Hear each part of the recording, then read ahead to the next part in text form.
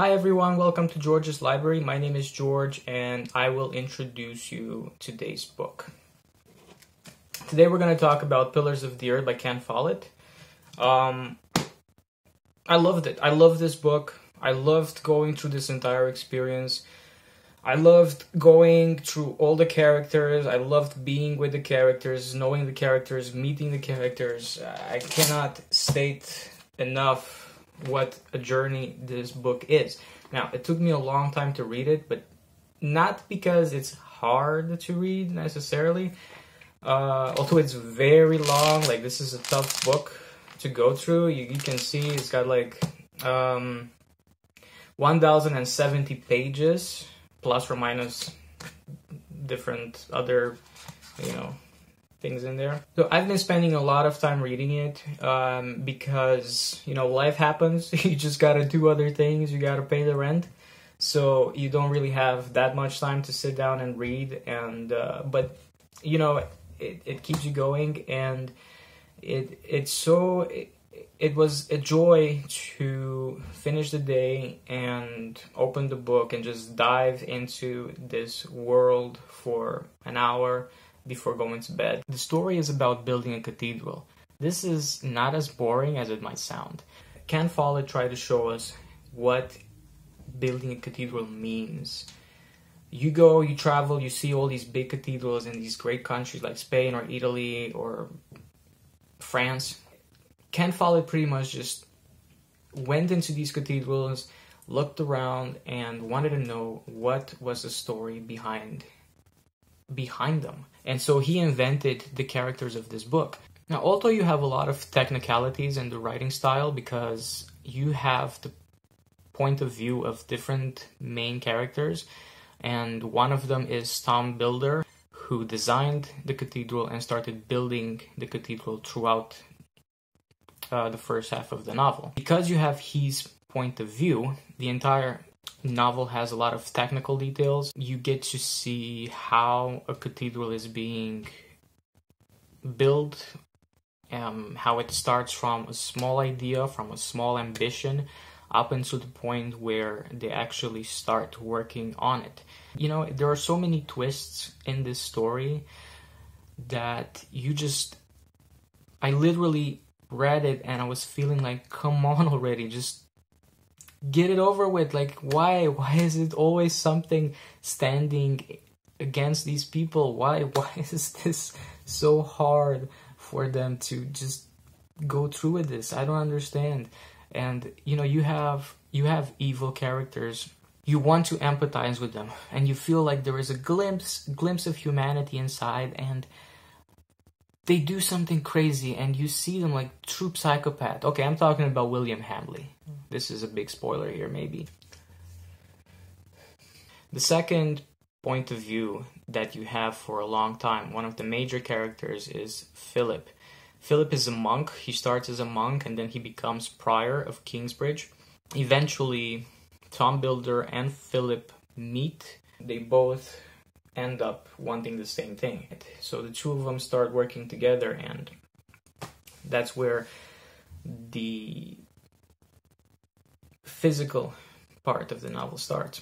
Throughout the novel, the point of view of the characters change. At the beginning, I thought that I will always just have Tom Builder's point of view and that the entire novel will come from his perspective. I would only see what he sees, I would only think what he thinks. But then the novel jumped to Philip, and then we spent a lot of time with Philip, and we get to see his point of view on things. We get to see his perspective, and it the the detail is so beautiful that you actually see the life of these monks. You see how these monks used to live in the 12th century, um, how life was, what it meant to be a monk, what it meant to be a builder during the Middle Ages. It's it's incredible to be in those shoes. You're always trying to find food, you're always trying to find shelter, you try to find work.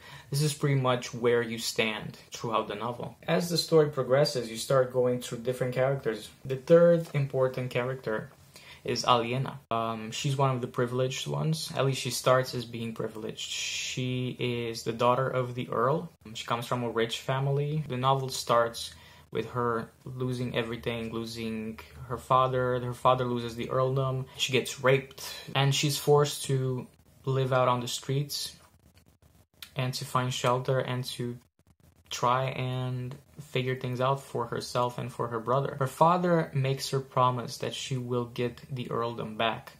And this promise is her curse and also her drive to try and figure things out. She's a great character. She's a really, really great character.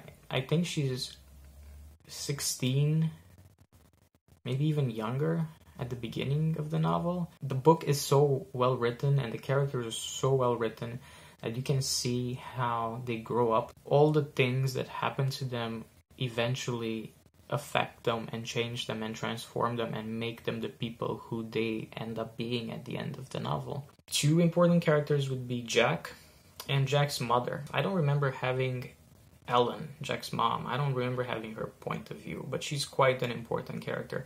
Jack definitely had his share of chapters. Jack, we we've spent some good time with him. So one of the cons of the story is the uneven rhythm. I felt like the beginning was slow paced, which I loved because it gave you time to delve delve into the story, delve into the world. As you were getting closer to the end of the story, the rhythm changed at the beginning, it took you multiple chapters, it took you decades of time to solve an issue. I'm saying you would read 10 chapters of something that involved twists, but the conclusion or the solution to everything that happened would come later on and would also develop on a longer in a longer time on longer pages. And then at the end, you would have one chapter when something happened, a twist would come up, and in the second chapter, they would already face the issue.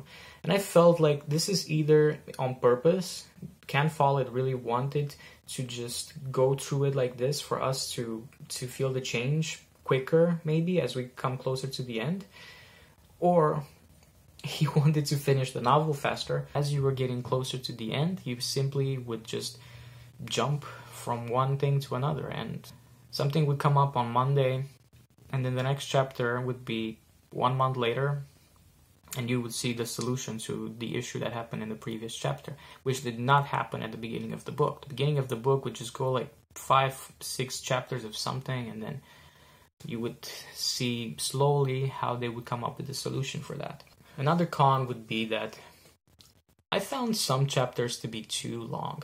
There was another YouTuber who, at some point, said he made a review of Pillars of the Earth, and he said that he could sense the fact that this is Ken Follett's not first novel, but one of the first no- first novels. You feel like he didn't really. I mean, he's good.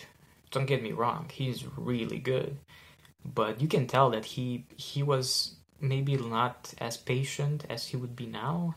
I didn't read any of his recent novels actually. I'm gonna go through. I'm gonna. I'm going to read the sequel for this and that was written in 2007 so it's recent i'm very curious if if it's if i feel any different or if i feel any improvements in his technique or in his structure one example that i can come up with is the chapter when jack burns down the cathedral like we we had only tom's perspective or philip's perspective up to that point wouldn't it have been more interesting if we just had Tom's perspective, him waking up and noticing that the cathedral is on fire. Tom only knows that Jack burned the cathedral much, much later on in the novel. We know, I mean, we have a full chapter where we see Jack burning down the cathedral. We have his perspective.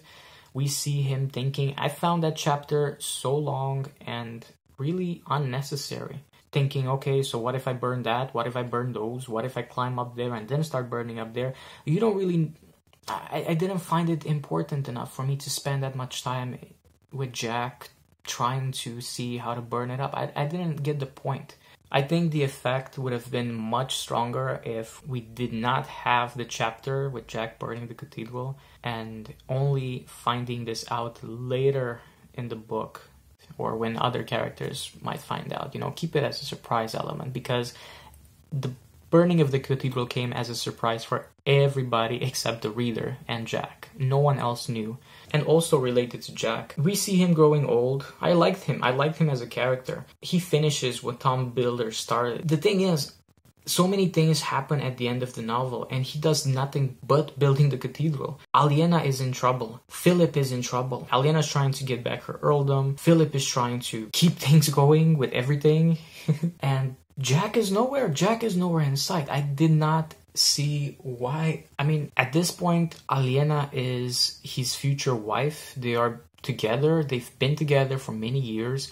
She is having a difficult situation and yet he is not there. Was he building the cathedral still? Was he taking care of the kids? I don't know. It's not mentioned in the book. I just didn't understand why suddenly he didn't do anything. He was not important. He was not important. He didn't even come up with any ideas. Like he, he didn't even have an opinion on do that, do don't do this or do anything. You know, he was just out. I mean, yeah, sure he did a lot of things up up to this point, but I don't get it that was my where's Jack? I want Jack. Okay, everyone, I hope you enjoyed my review. If you did, please subscribe to my channel. This was my first YouTube video. I hope you will be patient with me.